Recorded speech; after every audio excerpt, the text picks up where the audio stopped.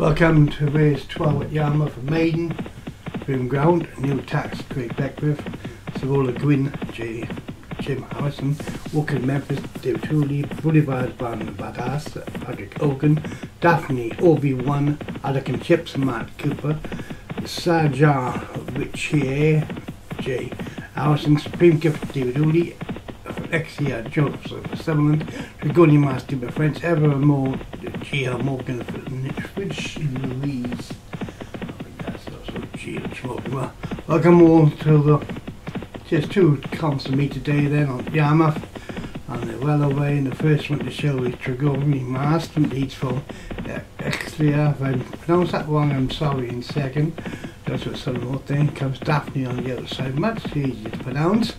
They're settling on down, they come towards the six marker, the back pair include and Chips and Savola Gwyn, but down the centre track Daphne leads by just over a length from Tragoni Master in second, Exia back in third, behind Sarja Richier and the new tag Supreme Gift, Boulevard von Badass, walking in Memphis, Heather and more and Chips, Savola Gwyn, and finish Lusa is the back marker. I'd like to welcome back Jim, I think it's Jim, from a couple of years ago. He's called James, I think, I think it's the same person, same trainer from a couple of years ago. Daphne leads by a length from the second for school in Mast.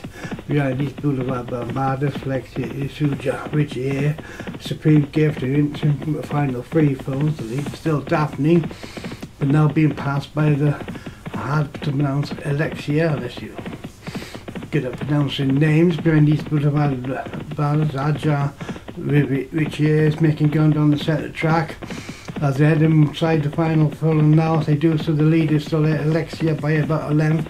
In second place is, is Sarja Richier, then in third on the outside is Boulevard Bandadas.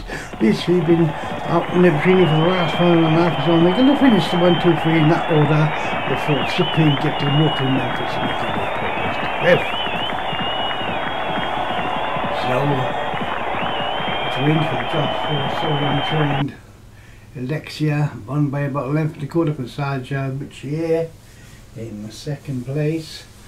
For Jim Harrison back in third, Boulevard Van Das, Patrick Hogan and then Hooley Pair were fourth and fifth. And that's one mile maiden at Yarmouth.